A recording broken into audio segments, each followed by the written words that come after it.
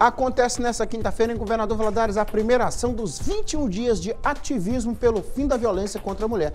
Trata-se de uma campanha de conscientização e prevenção do governo de Minas. O Ronerson Pinheiro tem detalhes pra gente aqui, né, Ronerson? Dessa importante campanha, né, Ronerson? Cadê o Ronerson, hein, ô, ô, ô? Olha o Ronerson aí. Importante campanha, hein, Ronerson? É isso mesmo, Nico. Uma ótima tarde para você e a todos que nos acompanham no Balanço Geral. O governo de Minas Gerais, por meio da Secretaria de Desenvolvimento Social do Estado, em parceria com a Polícia Civil, realiza, né, lança oficialmente nesta quinta-feira a campanha 21 Dias de Ativismo pelo Fim da Violência contra a Mulher.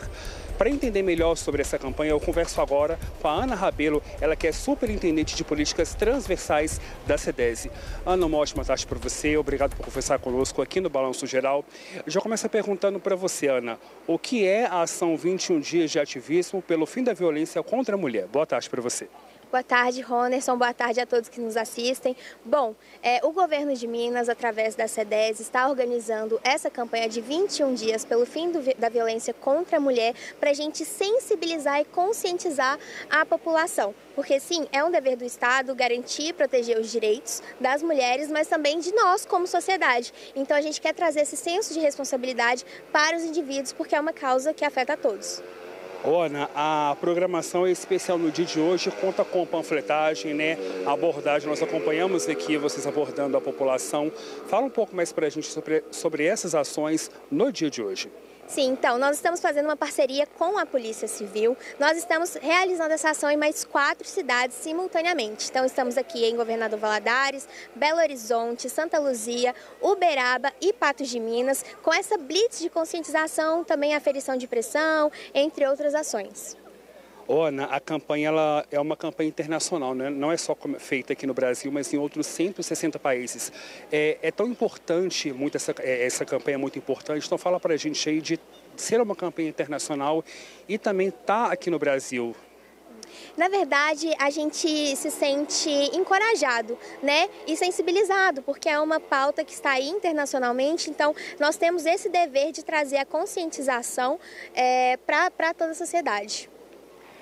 É, você está segurando ele na mão e o Fale Agora é uma das ações desenvolvidas pela CDS. Fala um pouco para a gente sobre isso.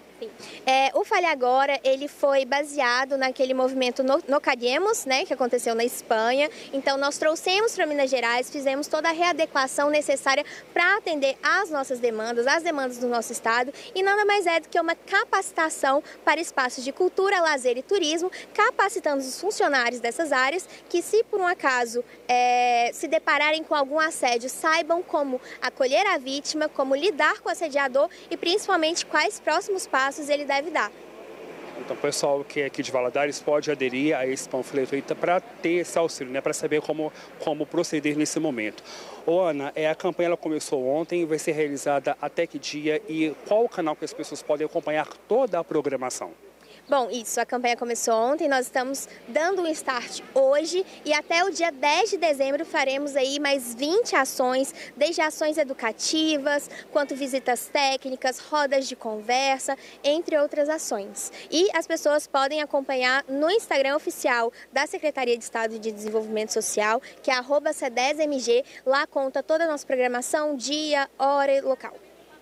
Muito obrigado pela sua presença aqui, participação aqui no Balanço Geral. Ô Nico, então, só reforçando essas informações. A campanha começou ontem, 20 de novembro, e oficialmente está sendo lançada hoje e vai até o dia 10 de dezembro. Inclui diversas outras ações, como debates públicos, audiências, atividades culturais, entre outros. E a população, então, pode acompanhar, mais uma vez, reforçando a informação, toda a programação pelo Instagram arroba CEDESEMG. Então a gente convida quem está em casa assistindo o Balanço Geral para dar uma passadinha aqui na Praça dos Pioneiros para receber também toda essa orientação. Você é mulher, você é comerciante que quer ter esse panfleto lá com você para saber como proceder nesses casos, dá uma passadinha aqui, o pessoal vai estar até às duas horas da tarde.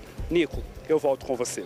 Obrigado, Ronaldson. Obrigado a nossa entrevistada. Tá aí o Instagram, Pantarinha colocou lá, arroba CEDESEMG. Obrigado, depois você volta aqui.